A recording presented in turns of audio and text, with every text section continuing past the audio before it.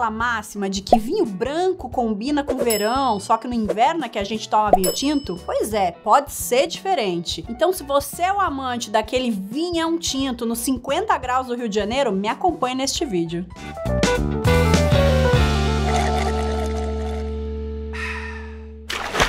Olá pessoal, eu sou Karina Belinfante, sócia proprietária da Cave Nacional, um e-commerce especializado em vinhos brasileiros, e te convido agora para curtir o canal Bebericando. A maioria dos vinhos tintos deve ser tomada entre temperatura de 16 a 18 graus de serviço. Vinhos que têm muito tanino, aquele composto do vinho que dá aquela secada na boca, ou vinhos que têm passagem em barrica, não devem ser consumidos muito gelados, porque senão eles pegam na boca, fica aquela sensação de adstringência. Mas existem vinhos de pouca carga tânica que podem ser servidos um pouco mais gelados. É o caso da Gamay, do Pinot Noir, da Grenache ou da Mencia. Agora, uma outra excelente opção são vinhos vinificados através de uma técnica chamada clarete. Clarete são vinhos jovens, leves, de álcool moderado e podem ser muito bem servidos a temperaturas mais baixas e caem muito bem com o verão. O vinho clarete é produzido desde os primórdios da vinicultura, mas foi em Bordeaux, no no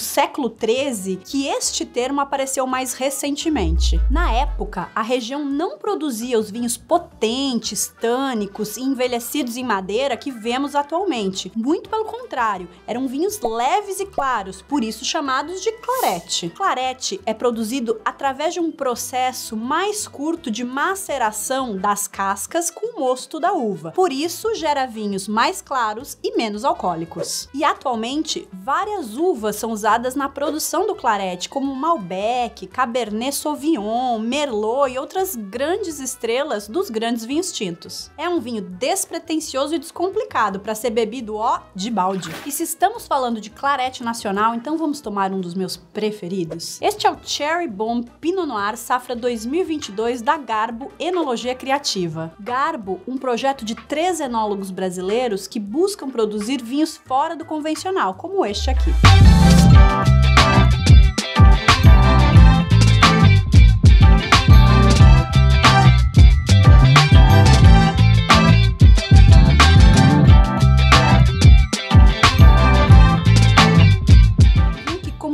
próprio nome diz, é uma explosão de frutas silvestres, uma acidez marcante e uma linda cor cereja. Um vinho que pode ser harmonizado muito bem com pratos leves como carpaccio, ceviche, frutos do mar, mas também pode ser bebido sozinho, geladinho, uma delícia. Pessoal, em resumo, vinhos claretes são excelentes opções para tomar no verão bem geladinho, no calor tropical. Existe país melhor do que o nosso para isso? Então deixa nos comentários, já tomou um vinho clarete? Como é que foi a tua experiência com esse vinho. E eu deixei aqui embaixo um link para você adquirir no site da Cave Nacional o seu Cherry Bomb Pinot Noir 2022 a um preço especial.